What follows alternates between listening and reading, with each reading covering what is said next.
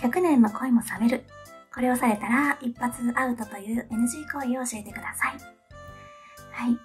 えー、っと、私は一回だけ、本当に、あ、ちょっと冷めちゃったっていう経験があって、なかなか冷めることってもうよっぽどないんですけど、あ、そういうとこもあるんだなーって感じで、一回だけ一目惚れをして好きになった方、相手の方も私に声を示してくれて、あの告白の LINE をいただいたんですけど、えっとあなたに惹かれてます。付き合ってくださいっていう、あの、メッセージいただいて、すごい嬉しくて、私もぜひ付き合いたいです。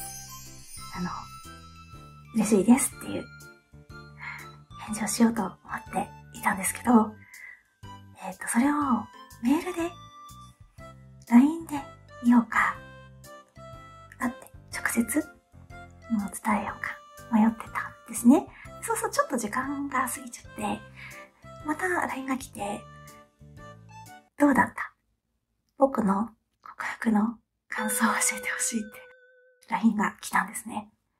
で、感想って思ったんですけど、感想気になりますかね？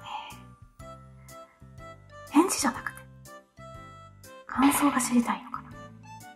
あれ？告白、あれは本物の告白ではなかったのかな、ちょっと思ったんですけど、うん、もしかして、ちょっと、私たち合わないかも。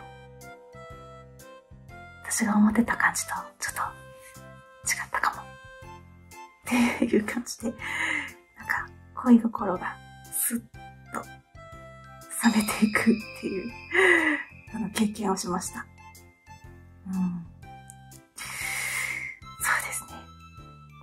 の感想は気になるかもしれないですけど、あまり聞かない方が、あの、ベストなんじゃないかなって思います。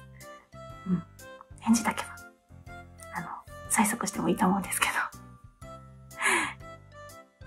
返事聞かせてほしいな、とかでいいかなって思います。テレビコマーシャルでデリケートゾーンがかゆいと言ってました。かゆいのですか？はい、デリケートなね、お話ですけど、これはですね、デリケートゾーンというよりかは、毛があるところがかゆい。